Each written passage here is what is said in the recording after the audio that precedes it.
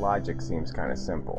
Um, I mean, if, if, you're an atheist and you don't believe in God and you don't believe in, you know, humanism in the sense of, you know, humans should are innately superior for some reason uh, beyond, you know, their intellect. Um, yeah, we were animals. You know, a few thousand years ago, we were animals. And uh, you know, if you saw one of us, you know, eating bugs, you know, even a, like a hundred thousand years ago, in the wild, uh, you wouldn't think any more of us than any other animal. I mean, we weren't too damn impressive, you know, scratching our asses and eating bugs.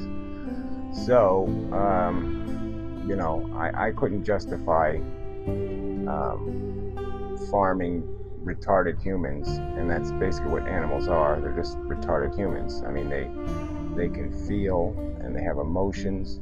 The only thing they can't do is read and write Shakespeare. So um, I'm going to take points off for that. Um, not when it comes to life, death, and concern for welfare. So that's ethically the evolution of my conversion to being a vegetarian. I mean, I, you know, realized that I really have no business eating other animals. Um, so uh, I stopped doing it, other conscious animals. And so obviously there's a line you got to draw you know, I mean, microbes really don't worry me. Um, and insects, I guess, but that's, you know, you can sort of argue what's going on in their little heads.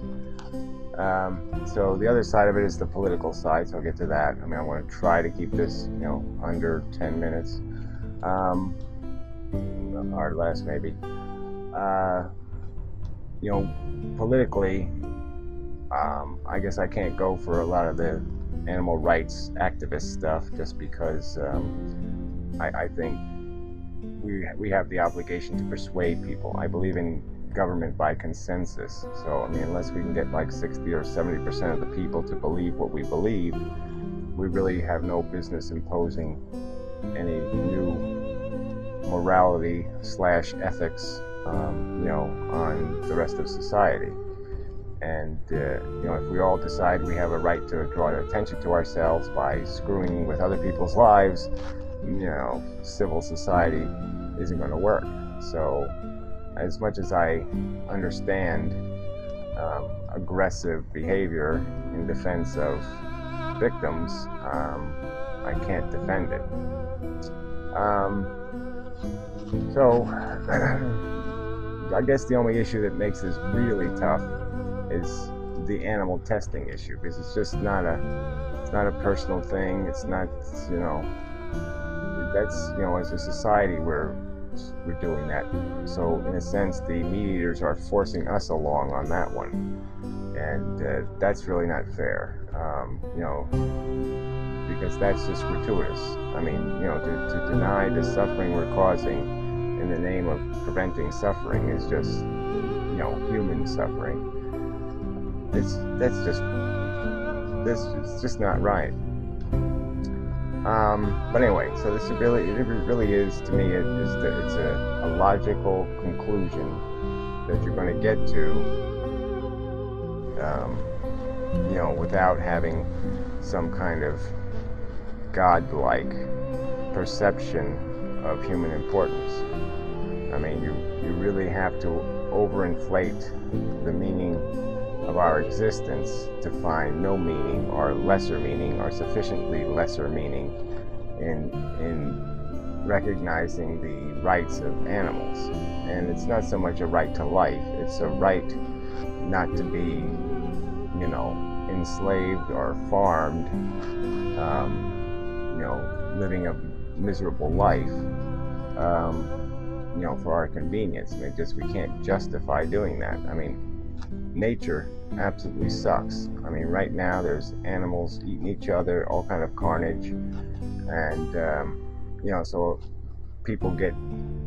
It's hard for people to understand why we have to be more careful than nature. I mean, that's the standard they apply. It's almost like, well, because nature sucks, we can suck, and. Uh, you know, it's an argument. What are you going to say? You can't say anything to it. You can't argue with it because it has to do with you know, a made up perception of human importance. I can't, you know, yeah, all I can do is argue that we don't really have a right to um, justify our behavior using nature as the standard. I mean, nature is crude, ignorant forces.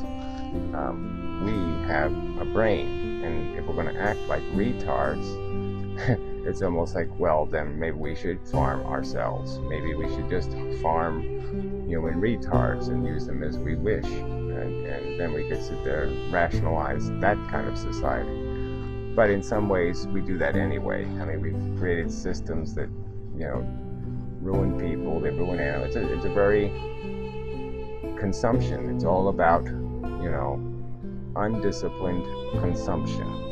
Uh, this society has a lot big problem with that, and all people do. We're all guilty of it. We're all seduced. You know, we all have want, and we're driven by it. And uh, but this is one of those. Yeah, this is a place where um, intellectually we can draw a line and say, wait a minute, you know, we can want it, but we really aren't entitled to it. And um, you know, I think you know for the for the higher mammals and such, we have an obligation to them, and it almost irritates me. You know, this you know, it's, it's, it's like people save whales, right? I mean, this is one of these animal rights things, right? They save whales, but what are they saving them for? we live in a consumption society. And so whales will become, you know, if you save them from extinction, all they'll be is farmed. We'll go out, we'll harvest them. I mean, if I was a whale, I really don't think I'd feel great about the prospects that, oh, yes, you let me live, but, you know, I have a, every year I have a one in three or four chance of you sticking in a harpoon in my wife or my kid. you know, what kind of life is that? I mean, would you want to live with that sword hanging over your head? I, you know, who would? I mean, you know, that's the thing. It's just, you know, we, we've got to recognize that we, we're saving things for, for, again, I mean, they're saving things just because they want to be able to look at them. So they're doing the same thing. They're, they're not doing it for the end, us doing what's the best interest of the animal.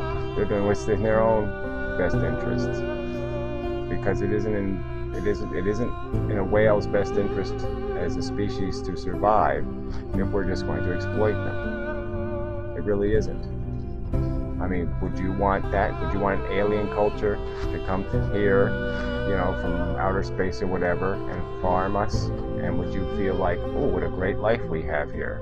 They provide for us, and they do this and they do that, and you know, all they do and you know, all they ask for in return is the right to fuck us over, you know, every few years, and we get to have a nice short lifespan, and. Um, what, what the hell that would we would all fight against that. We'd reject that.